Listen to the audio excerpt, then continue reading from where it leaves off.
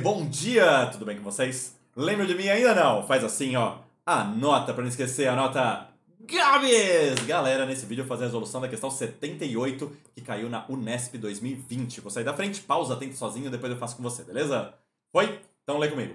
A figura representa o perfil em um plano vertical de um trecho de uma montanha russa em que a posição de um carrinho de dimensões desprezíveis é definida pelas coordenadas x e y, tal que, no intervalo de 0 a 2π, o y é igual a cosseno de x. Tá? Então, a altura do carrinho y é dada por essa função aqui. Vou até deixar escrito aqui do lado. y é igual a cosseno de x, e eu sei que o x varia do zero, incluindo zero, até o 2π, incluindo o 2π. Que no gráfico está aqui, ó, do zero até o 2π. Inclusive, aqui, antes de eu continuar lendo, se eu colocar zero no lugar do x, ó, eu consigo descobrir a altura inicial do carrinho, né? Isso é uma coisa importante, provavelmente. Nessa montanha russa, um carrinho trafega pelo segmento horizontal A com velocidade constante de 4 metros por segundo. Então aqui ele tem uma velocidade de 4 metros por segundo. Ok. Considerando a gravidade igual a 10 metros por segundo ao quadrado, raiz de 2 igual a 1,4, e desprezando o atrito e a resistência do ar, a velocidade desse carrinho, quando ele passar pela posição de coordenadas x igual a isso, será. Tá. Muito legal esse exercício, eu vou usar conservação da energia mecânica para resolver. É um exercício bonito, e a ideia vai ser basicamente a seguinte, pessoas. Ó, nesse ponto, ele tem velocidade e, portanto, energia cinética, e ele tem uma determinada altura e, portanto, energia potencial gravitacional. Só que essa altura que ele possui, eu vou fazer com relação a um referencial que eu ainda vou calcular. Como assim, Gab, você ainda vai calcular? Bom, ele tem uma altura aqui e ele vai ter uma outra altura nesse momento. Tá legal? Qual que é a altura dele aqui, que eu vou chamar de y inicial? yi. A altura dele aqui é aquela em que o x é zero. Então eu vou colocar zero no lugar do x. yi é o cosseno de zero e trigonometria básica, cosseno de zero é 1. Tudo bem? O y está em metros, então eu sei que a altura inicial desse carrinho é de 1,0 metro. Vou guardar essa informação aqui que ela vai ser útil. Quando a gente pensa em energia potencial gravitacional, a gente precisa, na verdade, da variação de altura, da diferença de altura de onde ele está para a referência. Tá legal? E eu vou tomar como referência o y final, que é o y nessa, nesse x. E aí eu vou substituir ali. Cosseno de 5π sobre 4. Se você teve aula de trigonometria, de funções trigonométricas comigo, você sabe que não só o 5π sobre 4 é correspondente do π sobre 4, como ele está no terceiro quadrante por causa dos escravos de Jó, né? Escravos de Jó faziam de jejum, tira, põe, dobre tira 1. 5π sobre 4 é põe, e portanto ele é correspondente do π sobre 4. Mas vamos supor que você não sabe isso, que você não teve aula comigo. Não tem problema também. Você pode enxergar o 5π sobre 4 dessa maneira. Ó. 5π sobre 4 é igual a 4π mais 1π, isso é 5π, certo? Todo mundo sobre 4. Simplificando esse 4 aqui, eu passo a ter π mais π sobre 4. Tudo bem? Agora, pensa no ciclo trigonométrico. Vou fazer aqui bonitinho. O que é π mais π sobre 4? π é isso aqui, ó. π é esse pontinho para a esquerda. π sobre 4 é 45 graus, né? Tá bom? Então, se eu girar π mais π sobre 4, eu vou chegar aqui, ó.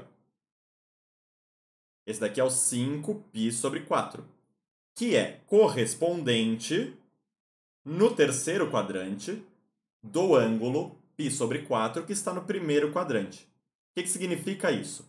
Significa que esse cosseno de 5π sobre 4 terá exatamente o mesmo valor absoluto do cosseno de π sobre 4.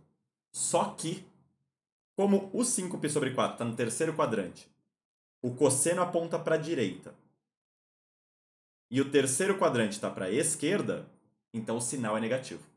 Então tem um menos aqui. Tá legal? Então esse exercício aqui virou meio que uma aulinha de matemática, né? Ele é interdisciplinar com matemática. Decorou da tabela trigonométrica, cosseno de π sobre 4, ou cosseno de 45 graus, é raiz de 2 sobre 2. Então eu sei que isso daqui vale menos raiz de 2 sobre 2. Pessoas, essas coisas que eu fiz em azul aí são rascunho. Eu vou apagar, mas está gravado. Se você precisar, volta o vídeo, beleza? Apaguei. Pronto, bonitinho. E o enunciado me falou para aproximar o raiz de 2 sobre 2 para 1,4. O raiz de 2, desculpa, para 1,4. E aí eu tenho, então, que o y final é igual a menos 1,4 sobre 2. E 1,4 sobre 2 é 0,7. Então, o y final é igual a menos 0,7 metros. E agora a gente volta para a física. Vamos lá. Olha que muito legal como é que eu vou pensar na física aqui, tá? Eu sei que 5π sobre 4 é maior do que π. Então eu sei que é mais para cá. Tá legal? E o resultado deu menos 0,7. Então vai ser mais ou menos aqui, assim, ó. Tá? Eu tô mais ou menos nesse pontinho aqui, ó. Então eu vou tomar essa linha que eu vou fazer de azul aqui como referência. E aí, quando eu pensar na energia potencial gravitacional do carrinho aqui, com relação a esse referencial, a altura que eu vou usar vai ter que ser essa aqui. E qual que é essa altura? É a distância do 1 positivo até o 0,7 negativo. É essa distância toda, que é 1,7. Tá bom? Então vamos pensar na energia mecânica total inicial. O que é energia mecânica mesmo? Energia cinética mais energia gravitacional. Beleza? A energia cinética, energia mecânica inicial. Energia cinética inicial é massa vezes velocidade, que ele disse que era 4 metros por segundo, ó, ao quadrado sobre 2. E ele também tem, além disso, a energia gravitacional, que é massa gravidade, que é 10, vezes a altura. De novo, a altura é a diferença dessa aqui para essa aqui, que é 1,7. Então, 1,7. Como está gravado, pessoas, eu vou apagar esse 10 vezes 1,7 e vou escrever 17. Qualquer coisa você volta. 1,7 vai ficar 17. Além disso, 4 ao quadrado é 16. Dividido por 2 dá 8. Eu vou apagar e vou escrever 8. m vezes 8. Além disso, pessoas, 8 vezes m mais 17 vezes m dá 25 vezes m. Então eu vou apagar e vou escrever 25 vezes m. Qualquer coisa, volta o vídeo. Beleza? Essa daqui é a energia mecânica total inicial.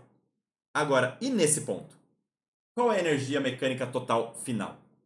A energia mecânica total final naquele ponto vai ser a energia cinética nesse ponto, e esse ponto não tem energia gravitacional com relação a essa linha. Beleza? Então eu sei que a energia mecânica toda nesse ponto é cinética. E a energia cinética é massa vezes a velocidade nesse ponto, que é o que eu quero saber, vou chamar de V, ao quadrado, dividido por 2.